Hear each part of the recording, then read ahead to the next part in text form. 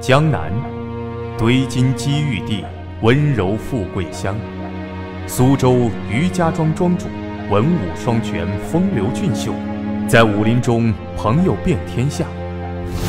飞鹰宝图，余家镇宅之宝，因无数江湖中人垂涎。传闻其上所画，乃秀玉谷移花宫藏宝之处——飞鹰地宫。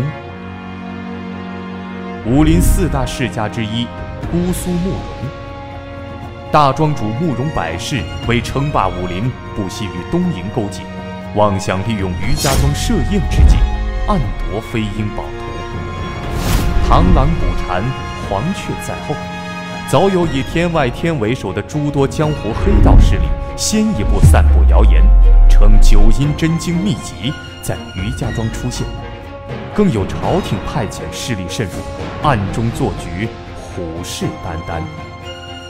江湖众人按捺不住野心，纷纷赶往窥个究竟。